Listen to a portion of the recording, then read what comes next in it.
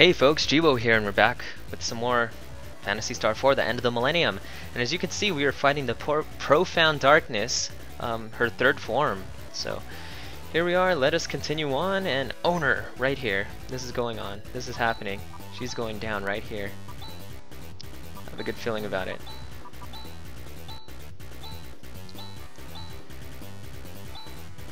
Raja's gonna use Saint Fire.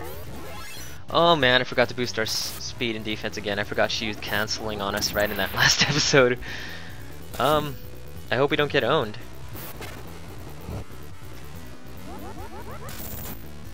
Alright, cool. We're okay, we're okay. So let's do it. Center F is crosscut barrier. Oh, really? You're gonna cancel that as soon as we finish it? Good game. We win.